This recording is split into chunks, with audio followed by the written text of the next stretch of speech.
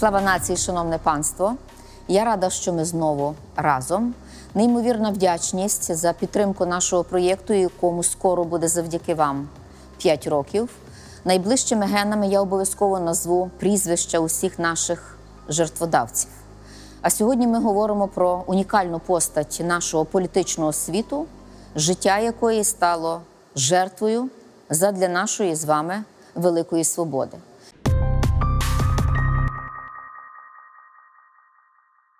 Колись я робила про неї студію величі особистості, але дійшла до висновку, що цього замало. І зовсім по-новому, можливо, десь за років сім, подивилася на цю постать, особливо після того, як сама зайшла в кабінети до слідчого, де поряд катували її 100 років тому. Отже, наша героїня Ольга Басараб. Минає 100 років від того часу, як поляки закатували її в одній із тюрем Львова. Тепер це тюрма, що на вулиці Академіка Кучера. Нам йдеться не лише про ці тортури, які змушена була пережити ця пані, тому що була вільною і самодостатньою особистістю. Нам йдеться про те, аби заглибитися в цю історичну епоху і не повторити зараз тих страшних уроків, які були 100 років тому. На екрані ви побачите основне гасло, яке є стимулом для нашої з вами спільної роботи. Таке складається враження, що ці слова Ольга Басараб, а саме Ольга з роду Левицьких, говорить десь із нульової позиції. Чи не так, шановне панство? Москалів б'ють наші моцно, щоб так далі дав Бог. Що з нами відбувається? Що ми за 100 років не можемо розв'язати проблеми з нашими одвічними ворогами. То чи не у нас самих ця глибочезна проблема? І чому ми не наслідуємо світогляду позиції тих людей, які мали рацію 100 років тому? Натомість нам на цій постаді залушило. Саме з цією метою я вирішила знову дуже стисло окреслити основні дороги Ольги Басараб з роду Левицьких, а отже, основні дороги нашої з вами нації, яка складається таке враження 100 років тому спала і знову прокинулася у тому самому політичному страшному трикутнику смерти. Отже, Ольга Басараб у дівоцтві Левицька народилася за висловом її сестри тоді, коли. Тоді, коли цитую, дозрівали вишні. 1 вересня 1889 року. Чому тоді дозрівають вишні, не можу ніяк зрозуміти.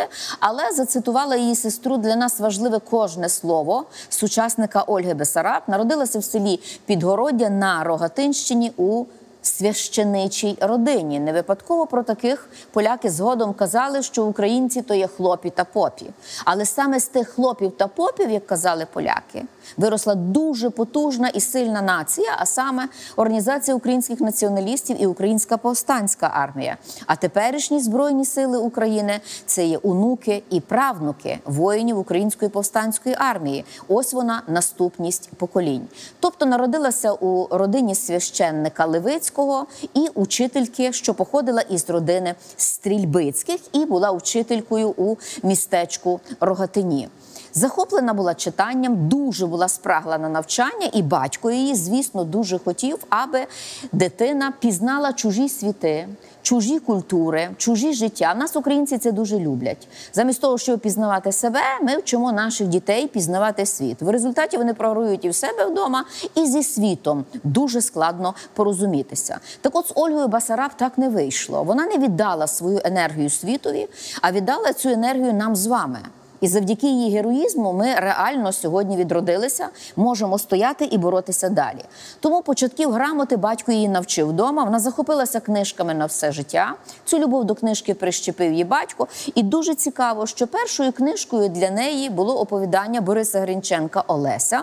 Оповідання дуже знакове для її віку і для її часу. А про Бориса Грінченка ми з вами зробили окрему студію, і ви її можете обов'язково подивитися. Але батько все-таки прагнув, аби дитина вийшла за межі містечка Рогатина і скерував її на навчання до школи в Вайсвассері на заході Польщі, бо цитую, хотів, аби вона пізнала інші краї, людей і життя. Звісно, що пізнати чужі краї, не вивчаючи чужих мов, абсолютно неможливо. А як же ж можна пізнати Україну, не знаючи своєї мови?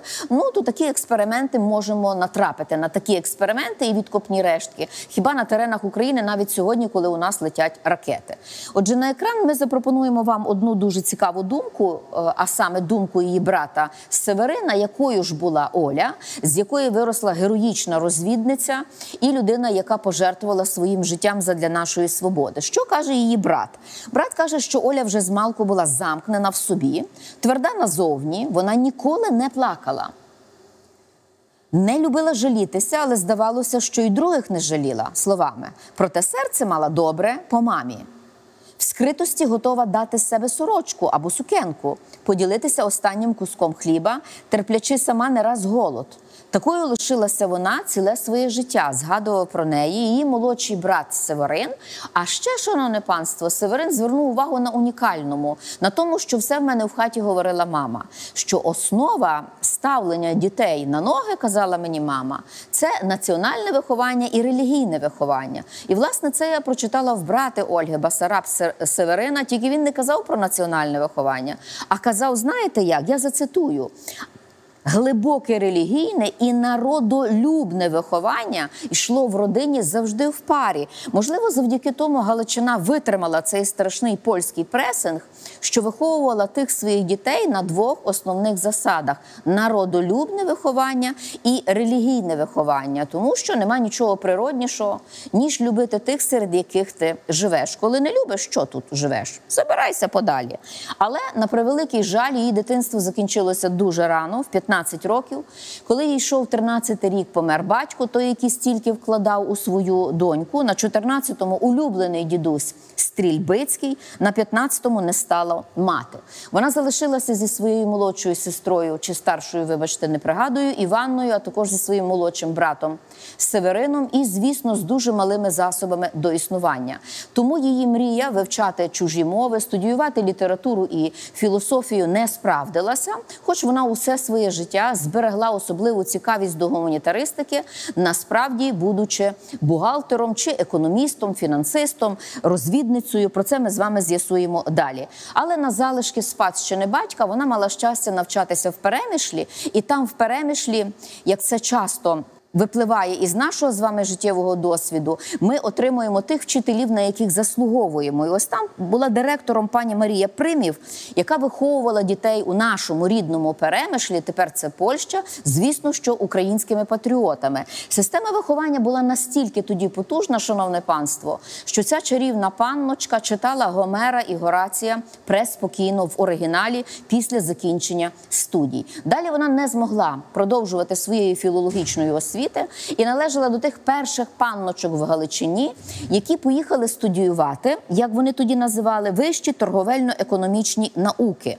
І ці вищі торговельно-економічні науки вона студіювала у відні разом із майбутньою дружиною Дмитра.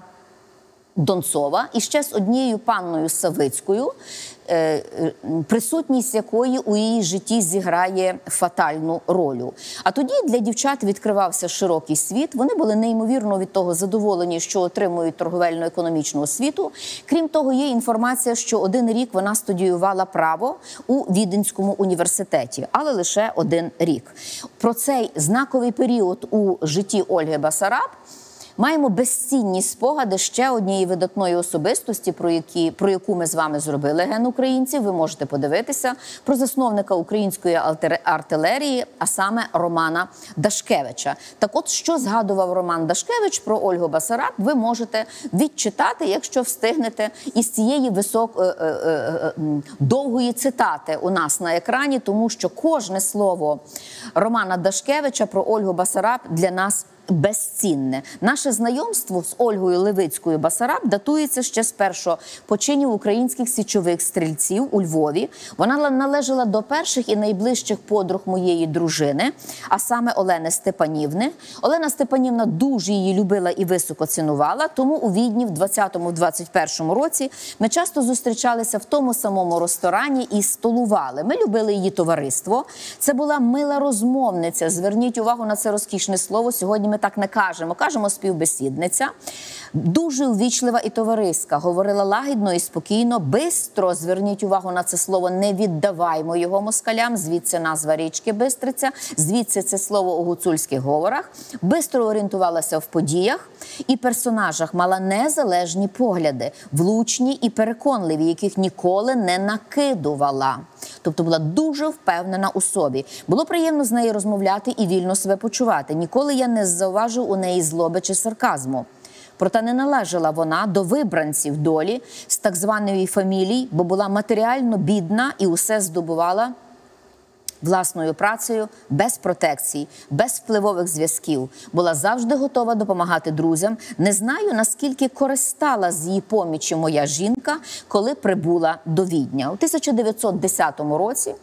Здобувши освіту у відні, вона повертається до Львова і працює у страховому товаристві Дністер, легендарному страховому товаристві, яке стало фінансовою основою для усієї східної Галичини. Про це ми з вами поговоримо в наступному нашому гені. В цьому товаристві Дністер зараз розташована ця споруда на площі на вулиці Руській. Кожен львів'янин добре знає, де це є. Е, відтак вона працювала у земельному іпотечному банку, власником якого був той самий чоловік, прізвище якого поки що для інтриги я спеціально не називаю. В 10-11 роках вона навіть викладала у торговій школі та водночас мала практику в українському кредитовому союзі у Тернополі. Поряд з тим вона належала до усіх можливих тоді просвітницьких організацій, зокрема належала до просвіти, належала до Сокола, належала до пласту. А 25 січня, увага, це дуже важливо. 25 січня 1914 року вона разом зі своїми подругами, а саме Оленою Степанів, е, Марією. Бачинською згодом Донцовою створила першу жіночу чоту українських січових стрільців. Саме на цю пору вона знайомиться зі своїм чоловіком і бере його прізвище Басараб. Її е, майбутній чоловік е, навчався у Львівській політехніці, очолював товариство Основа, очолював один із ем, друкованих органів цього товариства. Це направду була та спілка, яку Господь готував, напевно, заздалегідь один для одного. От як висловлювалася одна із сучасників Ольги Басарак, Басараб про їхні взаємини. Ці два характери такі різні назовні, мали шляхетні ціхи, які себе ідеально доповняли. Добра, лагідна, вірна і стійка у своїх почуваннях і переконаннях, зайнята громадською працею Ольга і життєрадісний, інтелігентний, активний Дмитро, який любив людей і був ними люблений знаходили спільне зрозуміння, і не дивно, що він здобув серце такої виняткової жінки, а пізніше національної героїні. Але цей чоловік, звісно, що був мобілізований до війська. Кажуть, що від стрілецького руху він був дистанційований, не брав активної участі в організації цього унікального мілітарного відродження в Галичині. Тому відряджений був на фронт у складі австрійської армії до Мальборджет в Альпах, куди його відрядили як офіцера. На превеликий жаль, відразу у своєму першому бою він загинув. Це не убило Ольги Басараб, а навпаки, сформувало її як непохитну людину у своїх переконаннях, і як цю людину, яка рятувалася жертовною працею, щоб пережити цю страшну трагедію. Як про це згадують сучасники? Трагічну втрату чоловіка без сумніву глибоко переживала. Дмитро Басараб, високий, пристійний блондин, був дуже поважний і стриманий. Він стояв осторонь стрілецьких початків і не брав участі в перших формаціях. Це знову доказує незалежність поглядів і рішень Ольги. Тодішній журнал відгуки не був блискуче редагований. Дмитро Басараб був його відповідальним редактором перед цензурою, але разом із нами сміявся з такої нісенітниці, що там появилася. Ми вбиті плачемо. Патетично хтось сказав в якомусь вірші. Його передчасна смерть була тяжким ударом, але для такої людини, як Ольга Басараб, ця трагедія не змогла зламати всього її життя, як зрештою доказав її активний патріотизм у громадському і політичному житті. Це спогади знову ж таки Романа Дашкевича, які для нас безцінні. Отже, цій чарівній 26-літній панні передали закривавлені рушники, якими намагалися втамувати кров, що пульсувала із тіла Дмитра, а також передали їй недописаний. Лист на превелике щастя, ці навзаємні листи збереглися, і ми можемо, читаючи ці листи, відчути удари серця кожного із них. Ольга повертається до відня. І е, основне її завдання полягає в тому, аби вояки, які повертаються із австрійської армії, не потрапили до армії Галлера, яку організовували поляки, і вона зупиняє їх на вокзалах для того, щоб скеровувати в українську галицьку армію. Тобто Ольга Басараб виступає комплектувальницею української галицької армії, активно співпрацює на цю пору із Червоним Хрестом і нагороджена навіть за свою діяльність в Червоному Хресті. Асоціюєте це із теперішнім Червоним Хрестом срібним орденом. На запрошення уряду УНР вона стає до праці секретарем українського посольства у Фінляндії, а потім бухгалтером посольства України в Відні. Саме знання чужих мов уможливили їй таку велику працю. Поза як ці мови вона знала добре, то яко розвідниця відвідувала Данію, Норвегію, Німеччину і інші держави, де збирала інформацію для уряду УНР. Наступив найстрашніший рік у нашій західноукраїнській і всеукраїнській історії 1923 рік, коли остаточно не тільки впала УНР, а коли остаточно розвіялися сподівання галичан мати свою західноукраїнську народну республіку. Відповідно до рішення ради послів, чи як їх називають амбасадорів Антанти, Галичину остаточно 14 березня 1923 року було злито до складу Польщі. Чи це поставило крапку на наших національно-визвольних змаганнях? І як на це зреагувала Ольга Басараб? За таких надскладних обставин вона, звісно, що повертається додому, не зостається в відні, не іммігрує де-інде, а повертається в сам епіцентр боротьби, повертається до Львова і констатує в крові справляє Польща бенкет, та нічого їм не поможе що випалюють та вирізують цілі села, таки скоріше чи пізніше вдавляться ними. Пише вона у листі до сестри Іванни 26 травня 1900 1919 року. Саме на цю пору Ольга Басараб розпочинає чи не найактивнішу співпрацю з українською військовою організацією. Їй не складно було співпрацювати з цією організацією, тому що ще з часів відня вона дуже добре зналася із Євгеном Коновальцем, який власне на цю пору УВО і очолив. До речі, Євген Коновалець не залишив спогадів. Про Ольгу Басараб, або, можливо, до нас ті спогади просто не дійшли. Як згадують про неї на цю пору? Скромна поставою, дуже рішуча в мові, відчева у вимінні думок, скупа на слова, тверда в розрахунках, спокійна у праці, ввічлива в товариській поведінці, зате безоглядна супроти неділових дискусій. Її очі, що гляділи крізь окуляри, проникали кожного співрозмовця до глибини душі і змушували до належного для її особи респекту. Говорила вона притишеним голосом. А коли говорила, всі слухали її виводів чи зауваг із затаєним майже віддихом. І ось арешт і трагічна смерть. О 6 годині ранку, 9 лютого 1924 року, до помешкання, яку вона винаймала разом зі Стефанією Савицькою на вулиці Веспянського, тепер це Вишинського, увірвалася польська поліція. Що шукала польська поліція там? Під час обшуку з шафи Ольги Басараб Випадково випав пакунок. Ольга відрухово підбігла до цього пакунка і притулила його до грудей. Поліціянти, звісно, що сприйняли цей жест підозріло. В пакунку виявилися дуже важливі розвідувальні матеріали на 19 аркушах про дислокацію військових частин всієї польської армії, про командирів військових частин і звіт про діяльність польської розвідки. Ось таким було надбання Ольги Басараб.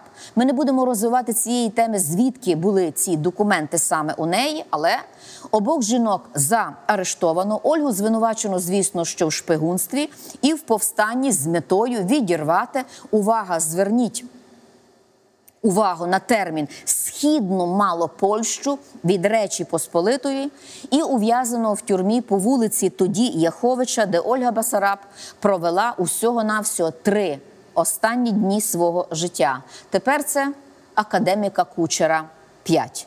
Допити були зі страшними, жорсткими і жорстокими тортурами. Маємо знати прізвище ката. Нема чого страждати. Треба формувати списки наших катів. Отже, катом Ольги Басараб був польський слідчий на прізвище Лев Кайдан. Два останні допити над нею відбулися 12 лютого в передобідній час і тривали від 21 години до 3 ночі. Вранці її знайшли повішеною на вишитому рушникові на ґратах вікна камери.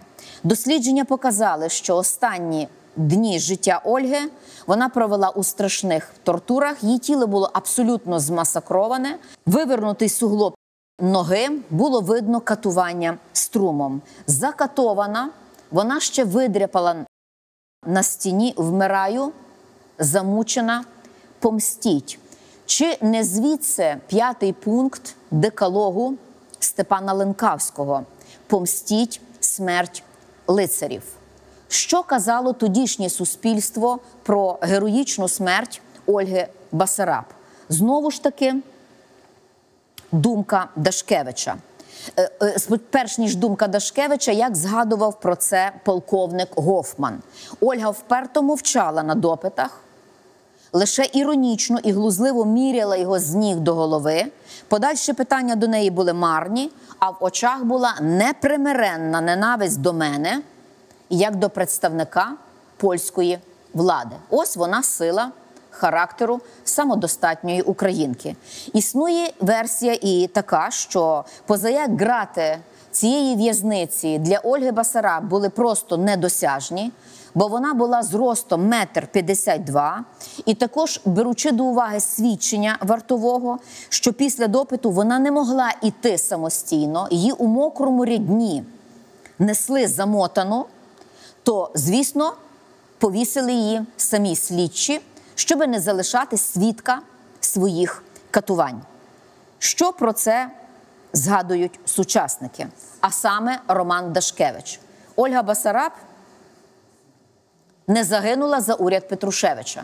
Вона працювала в уряді Петрушевича, але ліберальна його позиція, угодовська позиція Петрушевича аж ніяк не задовольняли її переконань. Зрештою, як і самого Коновальця, ми не маємо часу розгортати тему конфлікту між Петрушевичем і Коновальцем. Так, от спогад далі від Дашкевича, який ви можете відчитати у нас на екрані. Ольга Басараб не загинула за Петрушевича. Ольга Басараб загинула за УВО. Це надзвичайно важливо знати і розуміти, яке було протистояння між націоналістами і угодовцями нацдемівського спрямування. Ольгу Басараб замордувала поліція, стверджує Дашкевич. В той час я був на практиці як адвокатський конципієнт доктора Льва Ганкевича.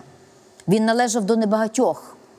Що їх допустили до оглядан під час ексгумації тіла на цвинтарі. Після повороту Ганкевич з заломаними руками схвильовано повторяв, як ті звірюки і її змасакрували. Які страшні синяки. Ганкевич був переконаний, що її так били і тортурували, що вона серед тортур померла.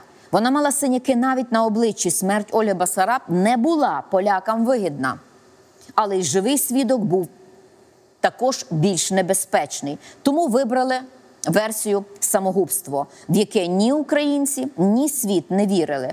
І в цьому поєдинку Ольга Басараб, як стверджує Роман Дашкевич, перемогла на вічну ганьбу польському жорстокому безправству. Показово і те, що польська поліція не повідомила родину Ольги Басараб про закатування, про те, що вона відійшла у вічність, і продовжувала далі приймати передачі від її рідних. І ще гірше, увесь цинізм полягає в тому, що її тіло, як бездомної, під фіктивним прізвищем Юлії. Баравської було передано для студентських дослідів до інституту судової медицини, а згодом таємно поховано державним коштом на Янівському цвинтарі у могилі для безпритульних. Сестра Іванна і Марія Бачинська. Прийшли до в'язниці, а потім на кладовищі дізналися завдяки добрим людям, де закопано тіло Ольги Басараб. Автентичні документи допитів Ольги Басараб також знищено. Маніпуляції поліції спричинили масове обурення в тодішньому українському суспільстві. Передусім активно взялася до оголошення правди Товариство Союзу Українок, де Ольга працювала бухгалтером. Софія Русова, одна із наших знаменитих постатей нашої культури, зробила спеціальну доповідь про е, у відні від імені жіночого товариства про закатування Ольги Басараб е, у Польщі, аби таким чином цілому світові розповісти про те, що Польща не виконує жодних зобов'язань, взятих на себе відповідно до рішення Ради амбасадорів березня 1923 року. 26 лютого відбулася ексгумація тіла Ольги Басараб. Адвокатом загиблої родини виступив стрийко Романа Шухевича Степан Шухевич. Серед лікарів, які проводили розтин, був єдиний українець, доктор Мар'ян Панчишин. Польський експерт-криміналіст заявив, що Ольга Басараб померла через повішення. За результатами ексгумації Панчишин написав статтю до газети Діло, де твердив, що її тіло було в страшний спосіб змасакроване, тоді коли польський експерт не підтвердив, що на її тілі були страшні синці. Що як реагував на це все світ? Ми ж так любимо дивитися, що ж про це каже світ. Ну, світ був стурбований, звісно. Зокрема, прем'єр-міністр Англії назвав політику Польщі щодо України злодійською. А французькі письменники на чолі з відомим нам всім дуже добре Романом Роланом опублікували протест ім'я й людяності. Боже, як зворушливо. Натомість президент Зунр Петрушевич звернувся до Ліги нації у Женеві у справі застосованих тортур щодо Ольги Басараб. Натомість, яка реакція була польської влади? Звична справу закрили за фактом відсутності злочинів 28 березня 25 року. Навіть більше поляки почали судити басарабівців, тобто тих людей, які були причетні до Ольги Басараб, і виніс вирок Андрієві Мельнику 4 роки і іншим. Тобто смерть Ольги Басараб у боротьбі із польськими окупантами стала насправді початком нашого потужного протистояння черговій польській окупації. Тому ми завершимо нашу з вами студію словами Ольги Басараб, які промовляють сьогодні до кожного з нас, що живе під ракетами, бомбами, ризикуючи, звісно, найдорожчим своїм життям. Жити треба жити, коли можна, бо хто зна, що завтрашній день нам принесе. Не будемо знати тих історій про наших видатних постатей не буде у нас вільного майбутнього, бо майбутнє виростає з правдивої української історії. Слава нації, смерть ворогам.